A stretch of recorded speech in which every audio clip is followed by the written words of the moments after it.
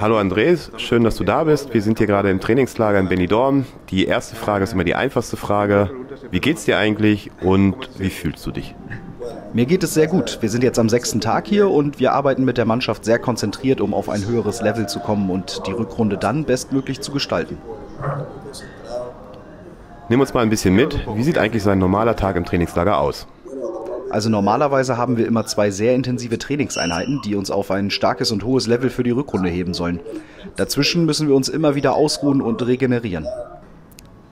Wie schätzt du deine Leistung persönlich ein? Bist du schon bei 100 Prozent?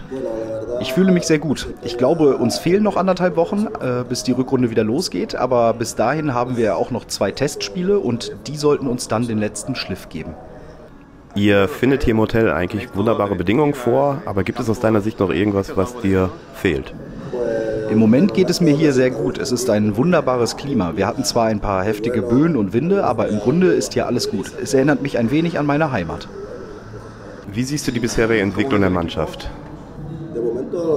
Die Mannschaft präsentiert sich hier sehr gut und ist auf einem guten Weg, um dann unser Ziel jetzt in der Rückrunde zu erreichen, nämlich in der zweiten Liga zu bleiben.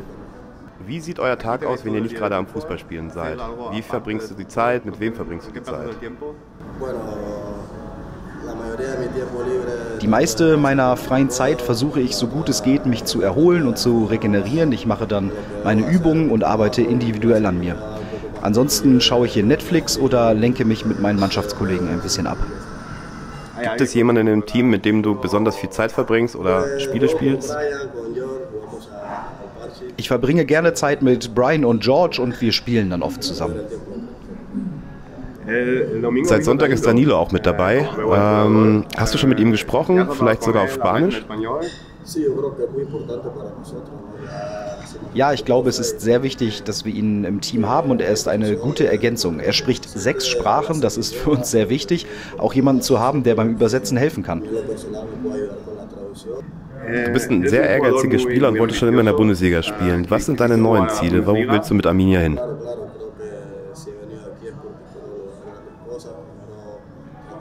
Bin hierher gekommen, um sportlich den nächsten Schritt zu machen und mich mit den Besten zu messen.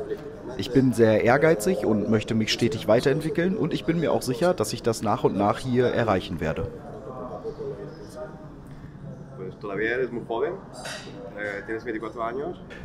Du bist mit 24 Jahren ein noch recht junger Spieler, hast schon viel Erfahrung gesammelt, hast schon äh, Europa League gespielt, bist Nationalspieler in Panama.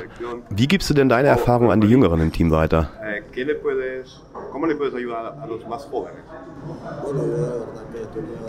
Ich habe tatsächlich schon einiges an Erfahrungen gesammelt.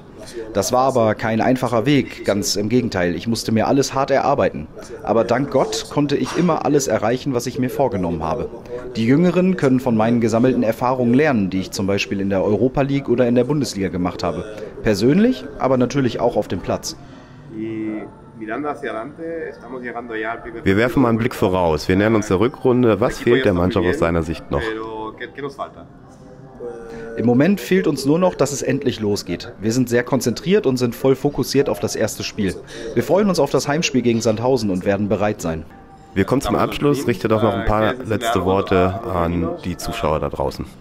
Ich möchte meine Familie und alle Arminia Bielefeld-Fans grüßen. Ihr habt uns immer sehr unterstützt und getragen und ich hoffe sehr, dass das auch in der Rückrunde der Fall sein wird. Bis bald in Bielefeld.